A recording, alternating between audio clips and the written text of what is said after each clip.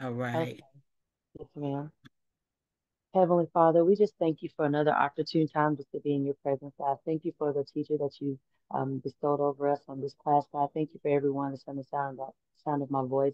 And we just thank you for the amazing and blessed day that we're having so far. Let your spirit reign. Let your holy, heavenly hostess rain down on this class and let us retain everything we need to. Let it be restoration and a renewal in our spirits and let us enjoy it so we can be able to minister in our everyday walk, in our everyday walk. In your name we pray. Amen. Amen. Amen. Amen. Yes, that's most important. We want to be able to to administer or minister the word of God in our in our everyday walk. What do they say? I was thinking what they say. We spend about eight hours a day at work. So I actually, even though I'm here with my husband, but I actually have more talk time, really, when I think about it with my coworkers. Um, so just something to think about. Apologetics, was this a new, were you guys all familiar with this science, with this discipline? Um, was it new for you? Any thoughts before we get going? No. No, I know Sister Dana has an awesome clip on her Facebook, so I know she was familiar with it somewhat. Yes, ma'am. I, I am familiar with it. And um, that's why I was so excited about you doing this right here because I want to not only be familiar with it, but kind of like walk in it, you know? Right. Yes, I agree. Any anybody else? Any I, um, takes? Um, I got, I got, um, I've never heard of it before, before this class, and um, I asked my grandmother about it. You know, she's a chancellor over at Grace, and I asked yes. her what it was, and she tried to apologize, not apologize. She tried to explain it, and she just started going into the sermon and I sat at her house about four hours and I only need to be there for 30 minutes. And she just kept going on. So she said it's it, to make sure that I'm paying attention, get my notes. She's like, it's a really good course. So I'm excited. good, good. Anybody else? I didn't know too much about it. and you know who my pastor is, Pastor Doreen, you know, she is a teacher's teacher. Yes, she is. Um, so when we kind of talked about it, she um like Kingyel said, she said, just pay attention because there's a lot of things you're going to learn. There's a lot of things you're going to hear. Some things will be familiar, some things won't. And as I was reading, some things was familiar, okay. some things, things wasn't. And I'm like, Sister Dana, I just don't want to hear it and see it. I want to be a doer of it because that's what God has called me to do. Amen. Amen. Amen. So I thought we um you know, we went back and forth on, on the book and uh, Sister Nina kind of chimed in. But um, there's so many, many uh, books out there with great information. Um, this is the one we settled on. And I think uh, R.C. Sproul does a great job of giving you a good, giving us a good introduction and a great overview of apologetics. Um, there is another gentleman, I'm sure he writes books. Um, you know, I always encourage you to go on the internet, Google um, reputable um, ministries, and you'll know you all discern. You have the Spirit of God abiding on the inside of you, so you'll know who's who's for you or or who is really uh, speaking the word of truth and who isn't. So I always encourage you to also do your, you know, Dr. Spears always laughs at me with my little term, do your due diligence. Um, you know, see what other information is out there.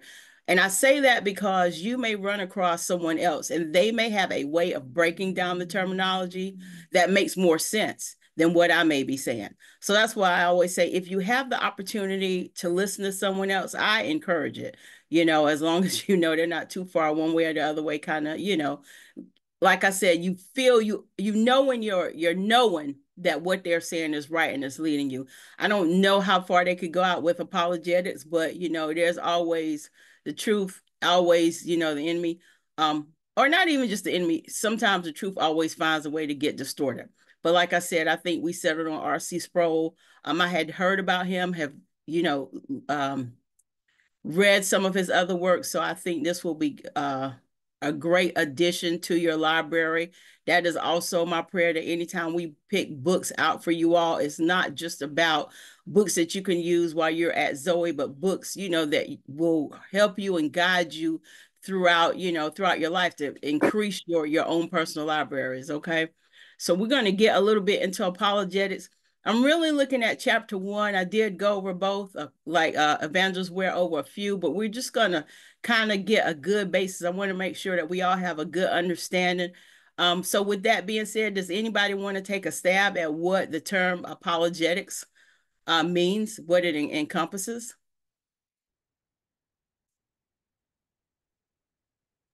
I mean, I, I mean, it's like the book says, it's defending your faith. Defending your faith.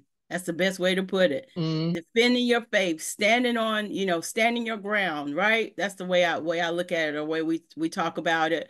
Um, like we said, you want to be able to expound on the word of God.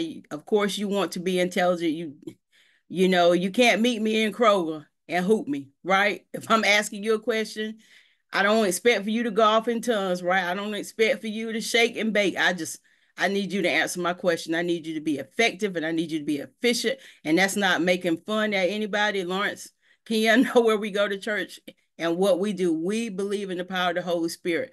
But again, when you are away from that setting, you want again to be effective. You know, you don't want anybody to be like, man, she is weird out because you want them to receive the things of God. And one thing Chancellor always says when he's teaching sometimes is he is for certain and I agree with him. I'm for sure Jesus was not hooping on the mount. Okay. I'm sure he was standing there delivering the word of God, teaching the people, and expecting them to be able to hear and obey and to process, right? So sometimes when all that's going on, I'm I'm in my feelings, so to speak. I'm not processing it out, right? So again, I'm not making light because I I embrace it. I embrace all all that God has, you know. So but when I meet somebody on the street, I'm I'm not quaking. All right. So apologetics, we learn it comes from the Greek word apologia. A P O L O G I A almost sounds like apology, right? Um, I'm sure apology is a derivative of that word, but when we think about it in the sense of uh, the discipline of apologetics, we are thinking, as Sister Nina and some of you guys said already, it means a reason statement, right? Or a verbal defense, right? So I am defending what I believe. I'm defending my stance on the faith. I'm not sorry about anything, right? I'm defending, I'm taking my stance. So when we think about apology, excuse me, when I, I do something wrong in my family, hey, mom, I'm sorry, dad, I'm sorry, you know, or I apologize for something that I did. I, I misspoke, I missaid. But in this case, I'm defending, as the title says, I'm defending the faith. I'm standing on the word. So if somebody could go to First Peter for me, let's go to First Peter 3. So again, I want to make sure apologetics, I'm defending, I'm arguing for a particular point or view. Okay. So I'm I'm building my case. I can build my case based on the word of God. Anybody ever did jury duty? Right. Mm-hmm. I had to mm-hmm. do, yeah, what a pleasant thing. but I had to do jury duty. Right. And the uh, prosecutor and the defense team, they were each building their case, trying to convince me and the other juries uh, who was right, who was wrong, you know, who should we go with, who should we not go with. And you know what I found I'm getting off strange? Unlike TV, they did not let us go back and get notes. We after it was the defense rest, that was it for us. We had to make a sound decision. So uh, with us, I guess that's leading, we don't rest. We have the word of God. So we always have the word of God uh, to back us, right? So we don't ever have to worry about, hey, it's over for me. Even if you miss it, you can always go back to another door. And I'm not, not saying miss or maybe that person just didn't comprehend. They just didn't understand what you were, you know, what you were saying. You can go back. We keep studying. We keep keep growing. We keep getting what better and better every day, right? We keep spending that time with God. We keep growing in the things of God. We keep, you know, building that relationship. We're intimate with Him, right? So the information is coming. The Holy Spirit is leading us. So we have another opportunity for uh, witnessing to present itself. So somebody is First Peter 3 for us. Let's start at verse 14. Anybody ready to read? I will. All right, let's go. I'm reading let's from read. the King James Version, and it says, excuse me, First Peter chapter 3, verse 14, it says, and do not be afraid of their threats, nor be mm-hmm. troubled Be sanctified the Lord God in your hearts, and always be ready to give a defense to everyone who asks you a reason for the hope that is in you with meekness and fear, having a good uh, consent, consent that when they de- defame you as evildoers, those who reveal your good conduct in Christ may be ashamed. I'm sorry, y'all. I'm trying to read out my glasses. The words too little, so I'm having to go back. so I'm sorry about that. you're fine, you're fine. All is well. I'm going to go back. I'm going to go back and read another version. Y'all know me. I like usually like my amplified, but also like the CSB, the Christian Standard Bible. I'm going to start at verse 14. Um, so we can kind of compare and contrast, give us expound on on the words, okay? Verse 14, but even if you should suffer for righteousness, right standing, right, you are blessed. Blessed what we are empowered to prosper. Do not fear them or be intimidated. So Peter is giving us clear directions. Do not fear them. Who's them? Hey, let's think about um, religions that we just studied. Buddhists, Muslims, right? Um, Hindus. Do not fear them, atheists, or be intimidated. But in your hearts, regard Christ the Lord as holy, ready at any time, ready at any time to give a defense to anyone who asks you for a reason for the hope that is in where in you. And then he goes on in verse 16 and he tells us how to do it. Yet do this with what? Gentleness and reverence, keeping a clear conscience, so that when you are accused, those who disparage your good conduct in Christ will be put to shame. You won't be put to shame. They will be put to shame. So I'm going to read that again because I want to make sure he tells us how to do it. I know sometimes when we we kind of you think about debates, right? You think about kind of heated arguments or intense sessions, right? But Peter admonishes us to do this with what? Gentleness and reverence, keeping a clear conscience, so that when you are accused, those who disparage your good conduct in who in Christ, they will be put to shame. Glory to God. So first thing I like that he tells us is have no fear. Glory to God. We will not fear, right? We are powerful. Amen.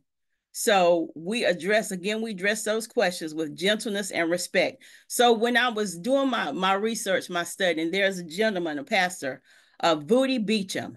Um, and he was talking about how when he first came to Christ and the Jehovah Witnesses came to see him. And the first time they came, he kind of felt, you know, uh, he, to me, he felt like a little intimidated, felt like he was not prepared. So when he left, he went, he talked to his mentors, and they're like, yeah, he was like, okay, they'll be back. So he was like, okay, when they come back, I'm going to be ready. So he said what he did was he went to the library and he researched Jehovah's Witness. He researched, researched. And when they came back, he was ready for them. And he was kind of like, you know, I'm feeling myself. I could tell them more about their religion or their sect than they know. And he was just kind of revel- reveling in the fact that he kind of uh, put them to shame and blew them out. And he said one of the things his mentor said as he listened to him when he first said, when he finally finished, he was like, um, do you think they'll be back? And he said, no, I don't think they'll be back. And he said he just kind of walked away. And that made him th- think about, ooh, what is the real reason for me to defend the faith, right? Is it for me to just put somebody to shame or is it to what? Draw men to who? To Christ. So I was like, wow, that is powerful because a lot of times we go into discussions and we go in and we don't always mean, you know, mean bad. Sometimes we're just kind of zealous about it, right? We're just defending, you know, they seem to be attacking Jesus. That can't be happening. And so we kind of go in and try to hit it hard. But again, we want to be gentle about it because the Holy Spirit is what he is gentle. He's peaceable, right? So if he's leading us and guiding us, he will instruct us how with gentleness, how to minister the word. And sometimes you ever, you know, there is I can't think of it now in Psalms where there's a, a scripture about how we, you know, we handle an argument. Oh, thank you, God. A soft word turns away what? Wrath, right? So softness is a powerful tool. People don't think about it, but it is a, a very powerful tool.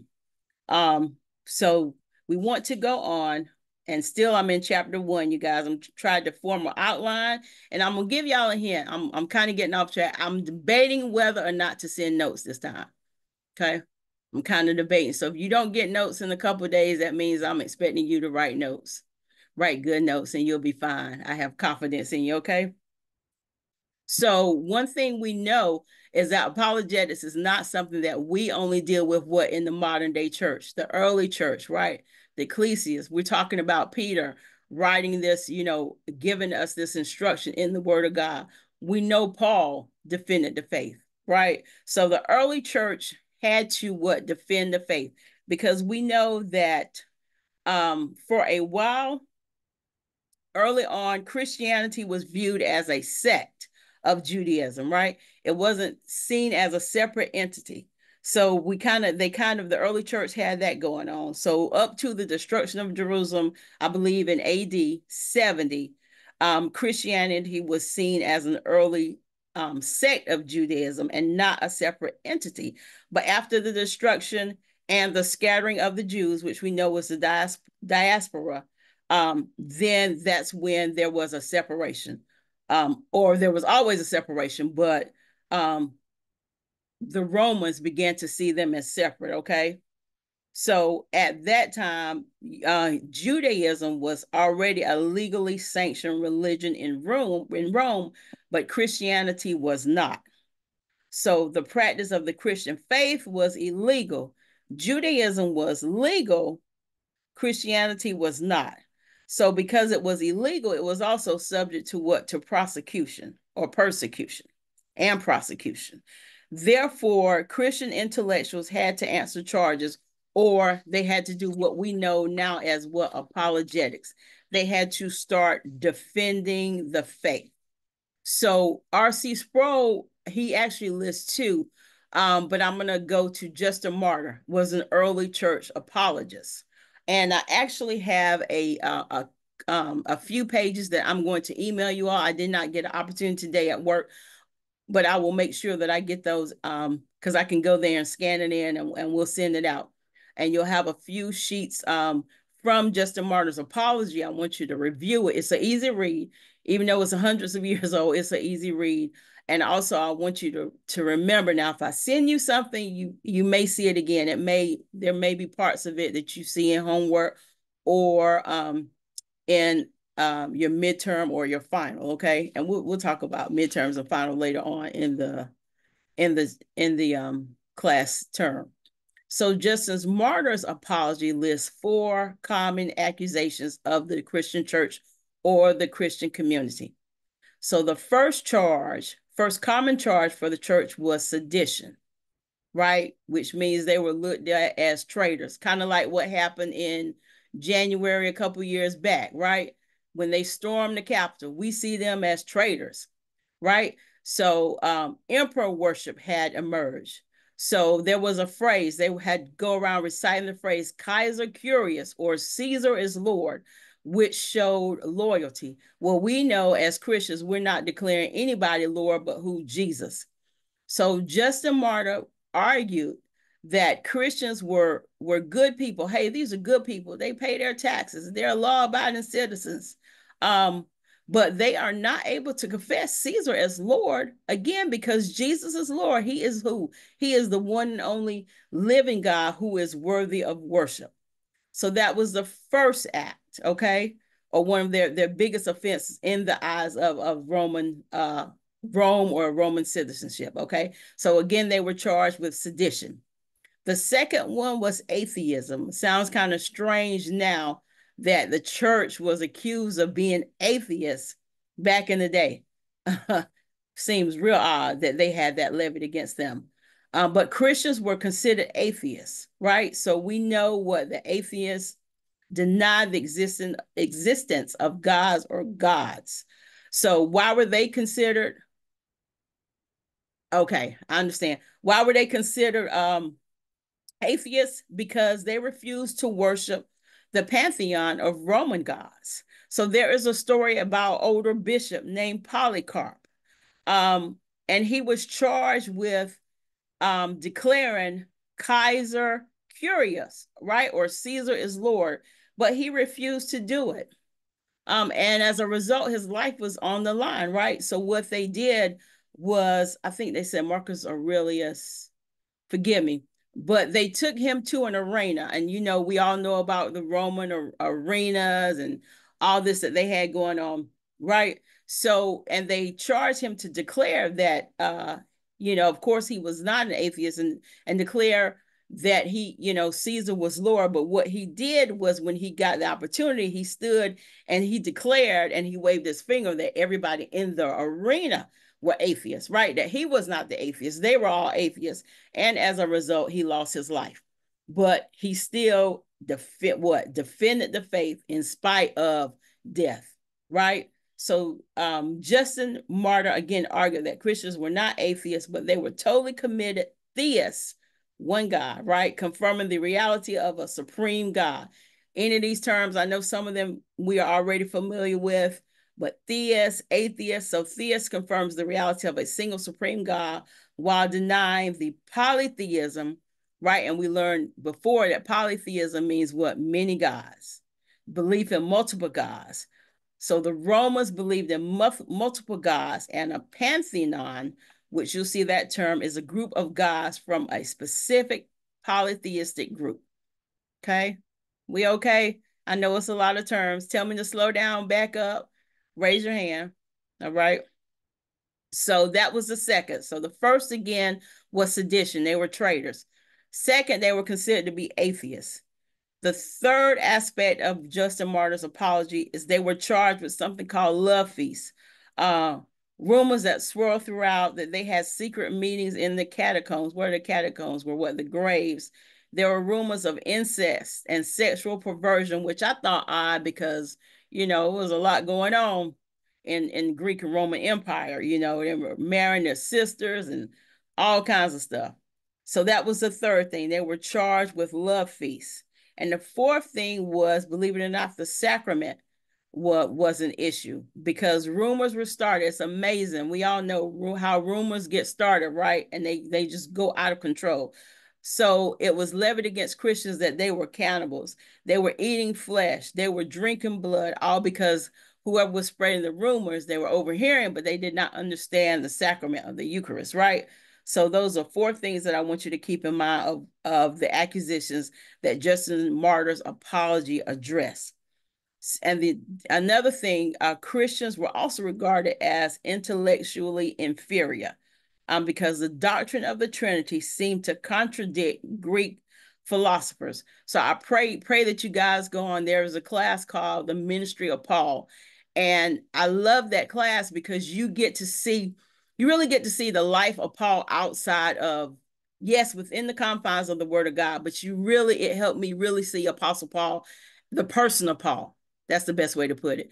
So you get to to read about him going and and engaging in these debates with philosophers um, or schools of philosophy that we only you know we read about in school, but maybe you never put Paul in that setting. Okay, um, so they believed in what their main philosophies were of Platonism or Plato um, or Stoicism Stoicism believes that humans are rational. Platonism believed that humans, the soul is irrational. So these were the schools of thought at that particular time. So again, they thought that Christians uh, were inferior intellectually.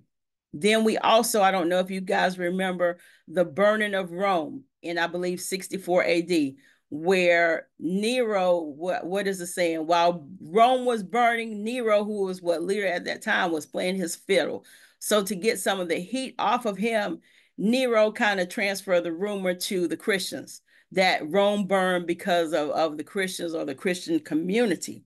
Um, and we all, if y'all ever know anything about Nero, Nero was vicious. He killed his mom.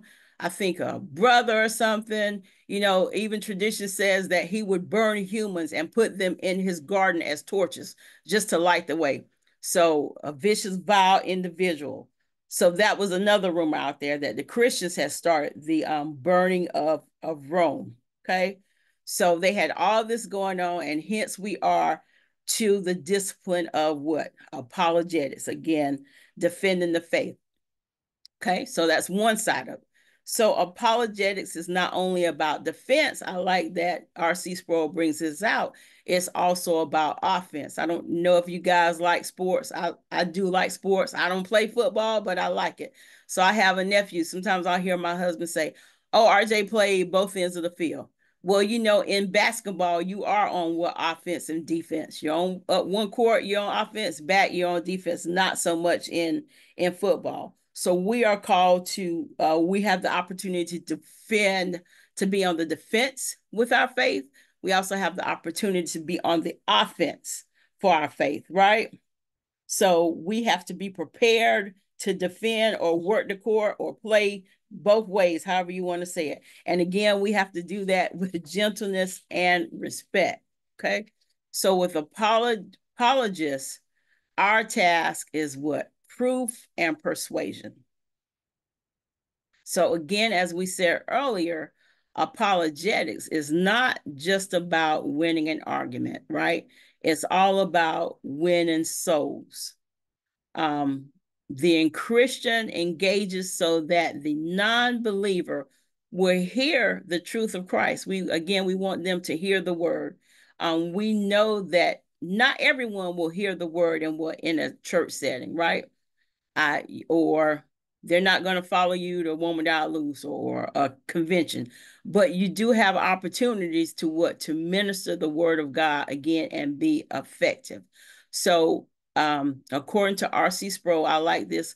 We have two tasks or tactics that we can use, or one of our tasks is proof, right, and persuasion. So, in one area of the book, I'm just going to read this part. He says, um, I'm just going to read in this section the skeptic at this point might respond, prove it, which is a good thing because proof is actually another facet of the apologetic task. He goes on to say, sadly, in our day, many Christians argue that we ought not to be engaged in attempts to prove the truth claims of Christianity, that faith and proof are incompatible. So I'm sure we'll, that's, um, you know what? I want some feedback from y'all. How do you what do you guys think about that? Do you think faith and proof are incompatible? Anybody? I can see how you can think they're incompatible Mm-hmm. because faith is you believe in it kind of before it happens or the expectancy that it can happen. But the proof is that my God never lies. So it's Amen. it's gonna come regardless. So I can I can kind of see I can see both sides because you wouldn't I I can see both sides. I wouldn't think of them them um in comparison. Yep. I agree. Anybody else? Is it clear? Do y'all think it's clear it should be two separate schools? Like, why in the world would they think that? Or you kind of agree with Kenyelle, or just like, um, us too early in the course? I don't know yet. Um, Dr. Dee Dee, I Yes, think ma'am. that once you, once you, um, like the scripture says, you know, Christ being the center of your life, um, as you grow in him, there will be enough proof in your faith.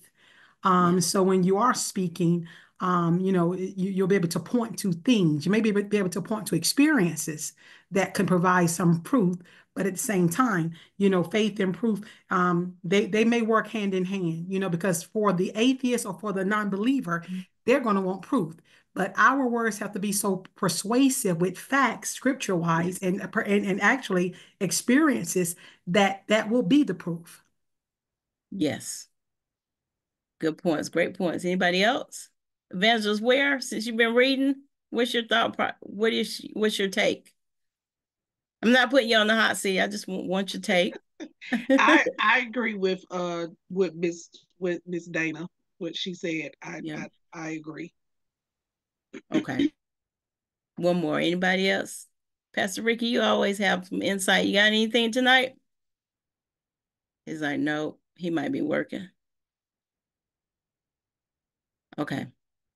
So we're gonna move on a little bit. And again, I will make sure that I, I send you guys that um No, about I'm five just- six pages. Go ahead, Pastor Ricky. How are you tonight? I'm good. No, I'm just I'm taking it all in. I'm saying wow on the other side.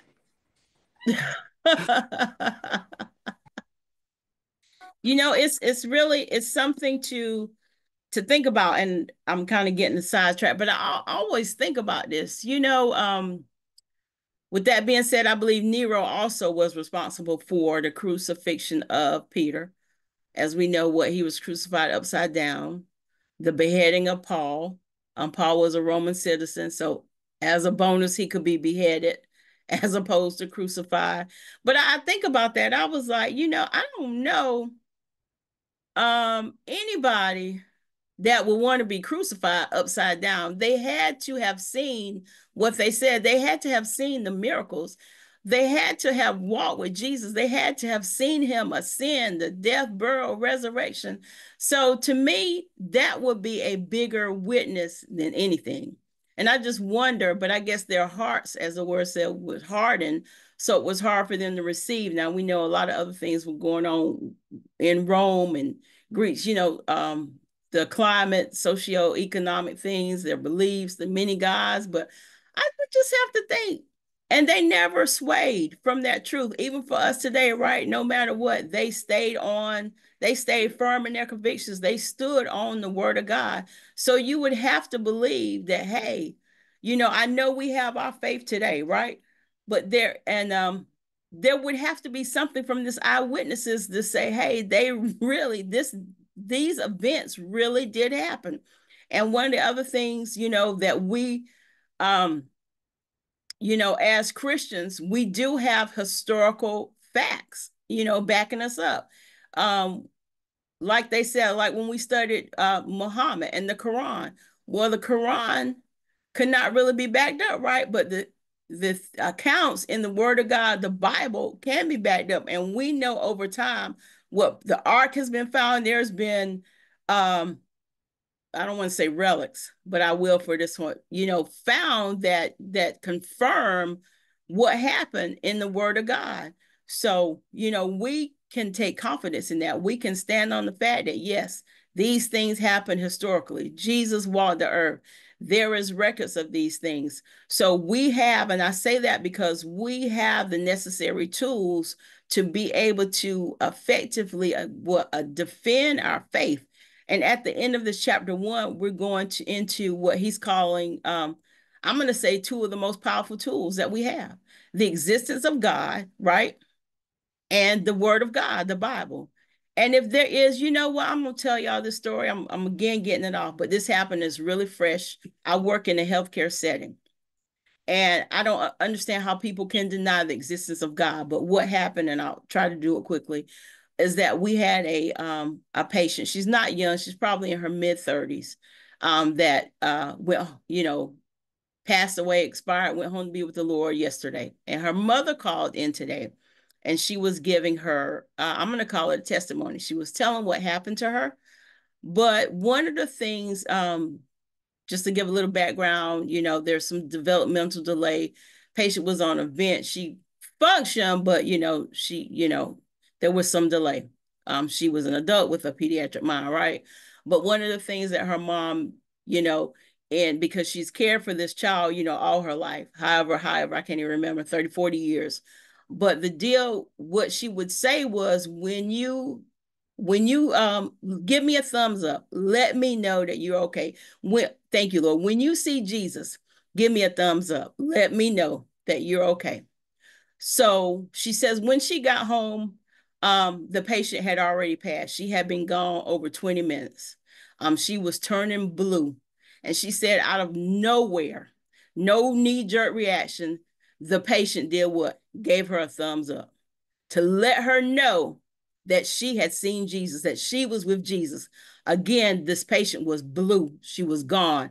She had no pulse, nothing for 20 minutes. So again, it makes you wonder with all the testaments that we have, there is a God. How in the world do people uh, confess that there is no God, right? But thank you, Lord. That's my kick. There is a God. We believe that Jesus is Lord. And I just I just had to share that because we that was such a powerful testament to the power of God. And not only that, to the love of God to be able to give this mother um, some sense of comfort that even in the face of this deep grief, I'm sure for the loss of a child, she knows that this baby went home to be with the Lord because you cannot tell me. I I don't know if any of you guys have ever been with someone that has just passed, whether it be five minutes or three minutes. There is no activity. There is absolutely nothing going on. Glory to God. But again, we have what Jesus. We have the Word of God, and we have God on our side. We can prove these facts. We don't have to be intimidated. Peter is right. We don't stand in fear. We don't stand in, in intimidation. We have the power of God on our side, and we can go in any arena, right? And declare the works of the Lord, declare the goodness of the Lord. Let people know who our God is. There is no what, no fear in us. I will not be intimidated by an atheist, right? You cannot convince me that there is no God when I have seen God move every day. New mercies, right? And that what the word say, we get new mercies every day. When we get to see the hand of God on our lives, on the lives of our loved ones, right? On on our jobs. Glory to God. So we can rest assured in what we have, what we know.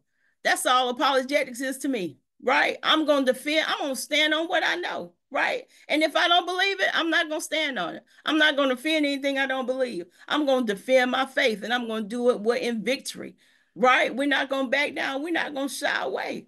Amen. We're going to move forward. Not sure how I got twisted up. Jesus, God is good, y'all. God is a big God.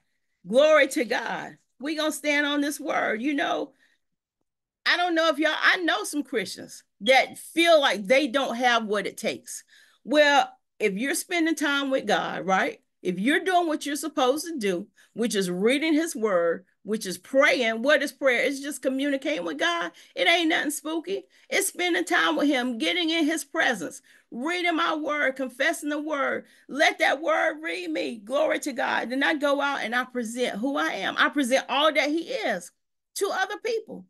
Wow, it should be easy. It's not a hard thing. It's not a difficult thing. We sometimes we make things difficult. Sometimes we let people convince us, talk us out of our faith. How can that be? Hmm. That ain't apologetics. Don't let anybody, I know this is not y'all. We're not going to let anybody talk us out of who we are. We're not going to let anybody talk us, us out of what we believe, right? Glory to God. We have we have this, as my daddy could say, this is a sure thing. he is in an industry that he has to make, you know, he's he has competitors. And his thing is, this is what I have, man. This is a sure thing. What we have is a sure thing.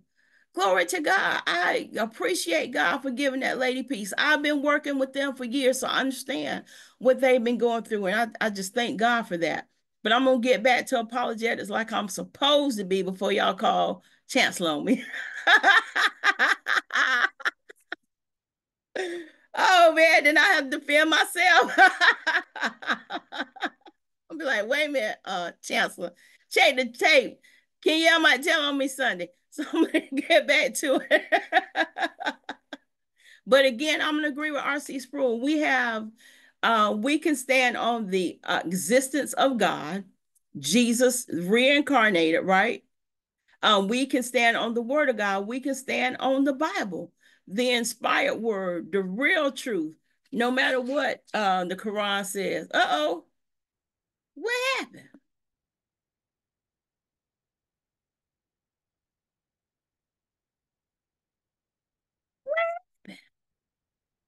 I'm sorry, what's happening, Dr. D? Yeah, what happened? Just blanked out.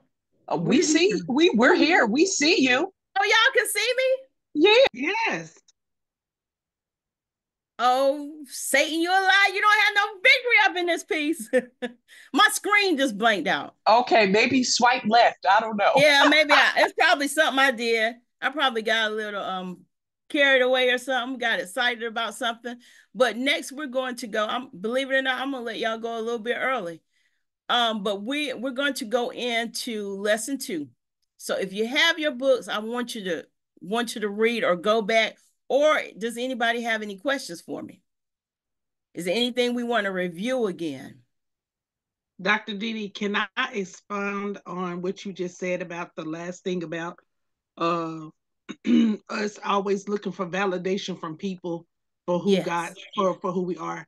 um just just to piggyback on what you said the the biggest problem in the body of christ uh that i see sometimes is we as christians we as believers that have been called we get so caught up in looking for validation from people people didn't call us that's right people didn't anoint us god that's did right. And when we learn that we don't need nobody's validation for what God has called to the forefront, we will operate better as believers, Christians in church. Uh, God is our solid rock. He is our yes. foundation. He is yes, all that we need. And I, I was sharing with somebody today at work. Uh, she was like, "Well, I just, you know, uh, I be looking for this and I'll be looking for that." And I said, "But why?"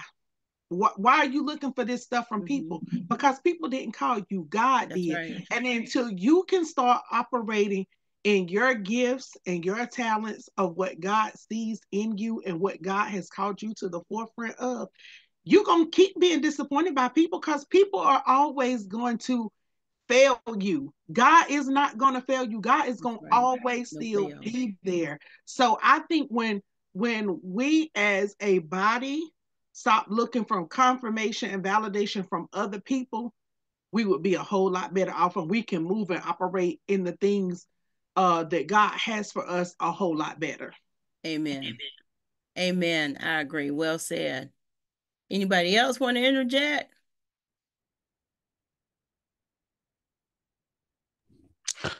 I mean, could, Pastor Doris, Ricky do because I see him come on could there be a confusion with people with validation and confirmation of where they're getting it from? I think there's a confusion mm-hmm. there.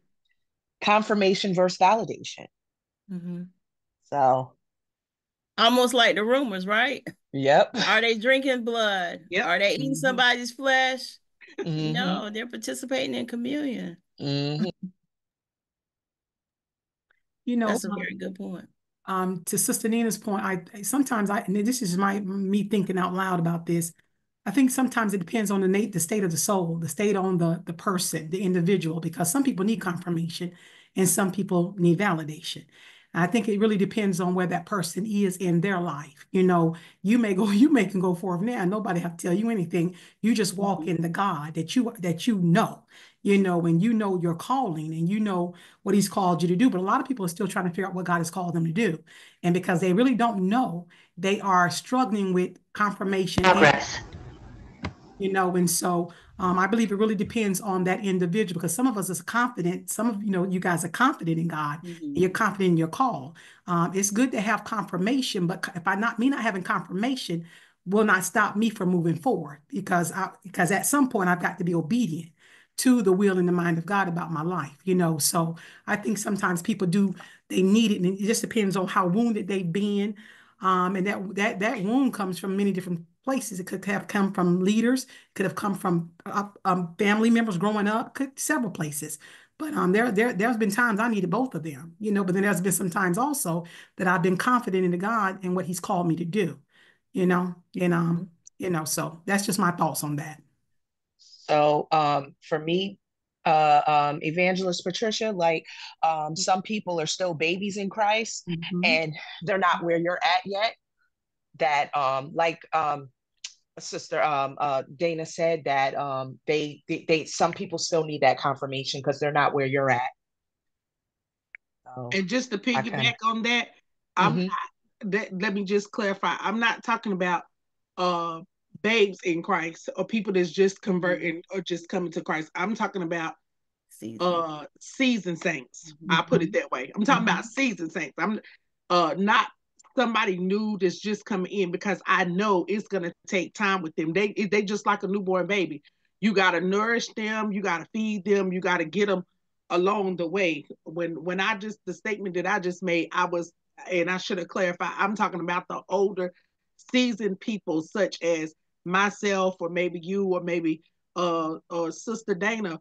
We mm-hmm. we we know the call and like she said, no sometimes it, it, during the walk we had to be uh, validated. We had to have mm-hmm. that confirmation. But now that we have grown spiritually and maturely, uh, I still find some people uh still looking mm-hmm. for that and they still hadn't grabbed hold to what God has called them for and and they know what they're supposed to be doing. They just not doing it. That's that's what I meant by that. And I absolutely agree with you there. You know what? And y'all have absolutely given me a great idea. So I was going to ask it tonight but I, I think I like to see your your thoughts on paper better. So this is your your your assignment Oh Lord, uh, Dr. Dee we done got ourselves in trouble with this discussion. Lord. Thank you, sister. Y'all are amazing. Y'all are amazing. Dang. So, I, but I like I like the thought process. So, in 250 words, explain to me how you would teach, you know, how you would teach a babe in Christ. How would you guide them with apologetics? How would you instruct them? What would you tell them to make them feel comfortable, to build, as as Sister Dana said, build up my confidence. I'm a I'm a new baby in Christ. I'm excited. The zeal is there. I'm excited. But somebody asked me a question. Um, I think I know the answer. I don't quite know the answer. I don't quite understand. While you're while we're writing that assignment, I do have a question. Sure. Um, so I think um, Evangelist Ware was, you know, saying about, you know, not she wasn't referring to like babes, like fresh, I say fresh Christians, but you were more so talking about people that's, I guess, been walking this walk for a while. So my question is, what, when, um, at what point do you, I guess, stop looking, or should you stop looking for that confirmation or that validation?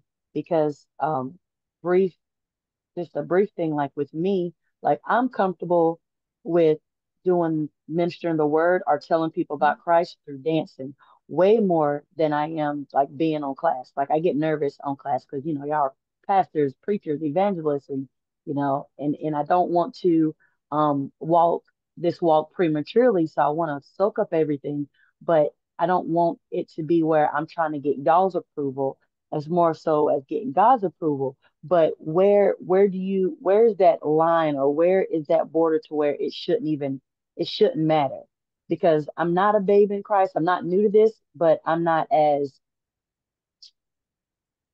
I to say seasoned, but I'm not as I don't know. I'm just I'm just not there where most of you are. So my confidence in doing this type of stuff is not where it should be. But I know God. I know him and I know he's not, you know, you know, whatever. But I just, I, I guess I'm kind of confused on it. Should there be confirmation or validation? Should there not be confirmation?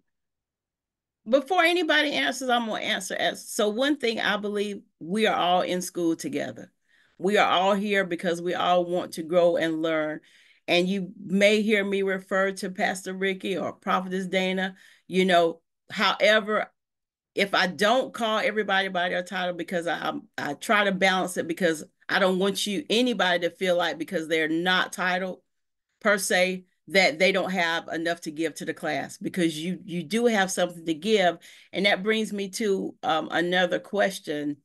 Um, is there even though we we say that is there ever a point where you you know where you uh, feel like you're a hundred percent in every area of your life? Because as dr spears says we're always learning we're always growing so, you know, maybe you feel proficient, like you said, in dance, you're not, you don't feel as proficient in another area. Well, it just gives you an opportunity to grow in that, in those other areas. It doesn't, you know, you'll hear a chance to say there's no big I, you know, and no little you, but somebody else can take that.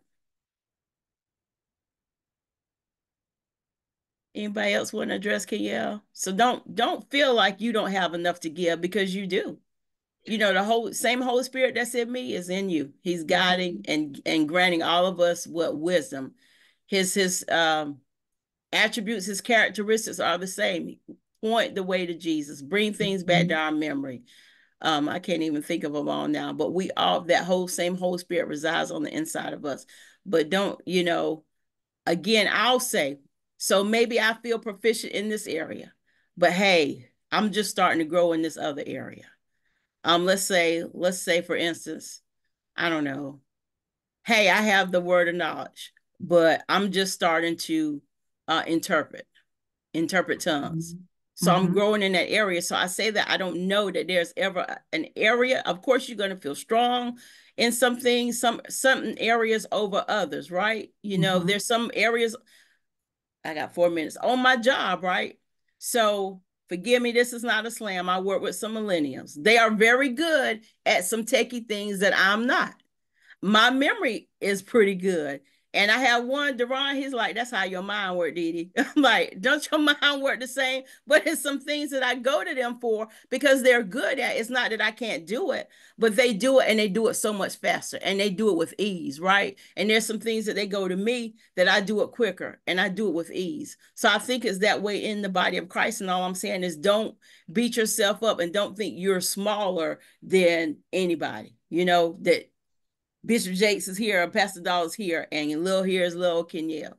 Because one thing I read this book, and then I'll stop. Jesse Duplantis wrote a book about his adventures, not adventures, his trip to heaven.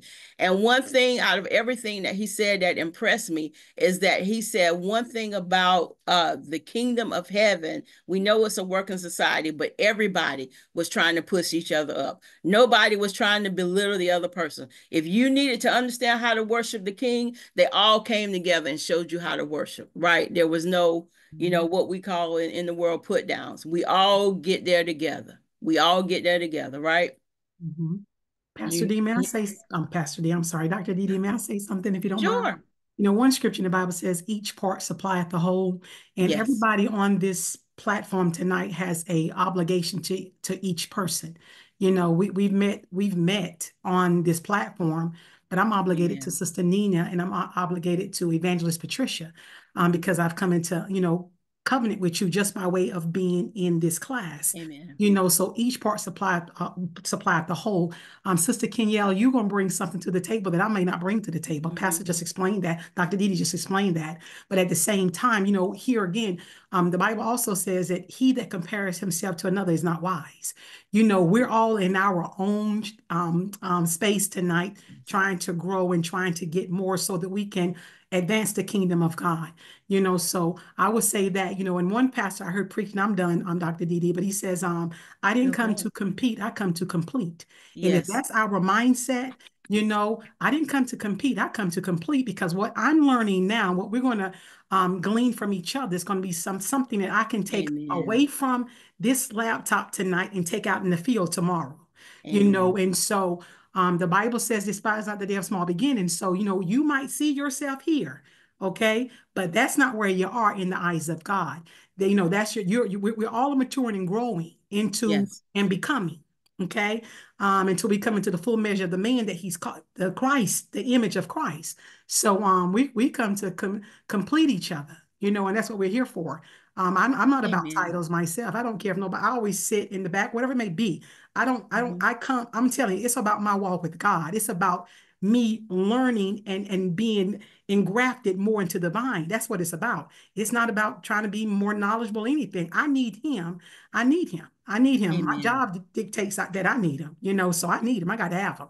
I do too much work with these children, honey. I need Jesus. Just so you know, you know, so just remember that, sweetheart. Um, each part supplieth the whole. You very eloquent when you speak, yes. very knowledgeable. You got a great spirit about you. You add value, just so you know. Amen. Okay, you added value. To God be the glory. Um, Pastor uh Staley gonna send me some more hate mail. Prophetess. Oh no. he not. he gonna talk about me. He gonna send me that message. Let my people go. Who's on evangelist? Where pray us out. And y'all, I'm glad to see you guys. Have a great rest of the week. That assignment is due Monday. It's easy peasy. All right. Let us pray. Lord Heavenly Father, I just say thank you for this evening, God. Thank you for this time in class, God. Thank you for the knowledge that we receive, God. Let us not be only hearers of your word, God, but let us also be doers of your word, God. God, keep our minds afresh uh, God, while we're in class, God. Let us pull and learn from each other Yes. Uh, Heavenly Father, God, I just say thank you for what has been poured tonight, God. God, continue to pour in our cups until we're filled up and we overflow, that we can overflow on someone else, that they may learn uh, from us that we, what we have learned from each other and we are learning from you, God. So tonight, God, I just say thank you. Thank you, Lord, for this time. In the name of Jesus, I pray. Amen. Amen. Amen. Yeah. Hey, you guys have a great rest of the week. Be blessed.